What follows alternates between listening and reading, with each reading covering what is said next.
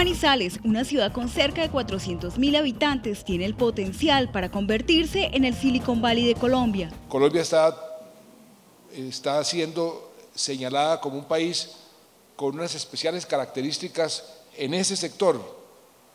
Eh, y qué bueno que dentro de Colombia Manizales esté siendo señalado como la ciudad eh, líder. En los últimos años, la capital de Caldas ha generado más de 14.000 empleos gracias a la industria TI del país. Por todo esto, el gobierno nacional, a través del Ministerio TIC, abrió en esta ciudad uno de los 17 Vive Labs. Vivelabs es un, laboratorio donde están la última tecnología, los últimos computadores, las últimas herramientas para desarrollar estas aplicaciones, aplicaciones para los celulares, eh, aplicaciones para hacer películas en 3D, para hacer videojuegos, para hacer muchas otras cosas.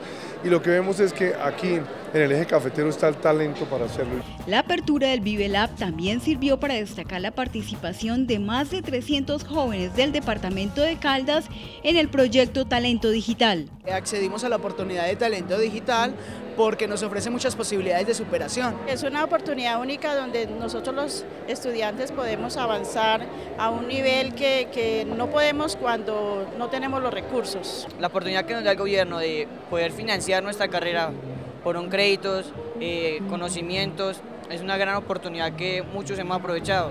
En el evento, que contó con la presencia del presidente Juan Manuel Santos, los emprendedores de la industria de tecnologías de la información demostraron su creatividad y capacidad de innovación en el departamento de Caldas. Un día tú y tus amigos tienen un sueño y ese sueño, como alguno de los derechos de los niños, hay que darles nombre.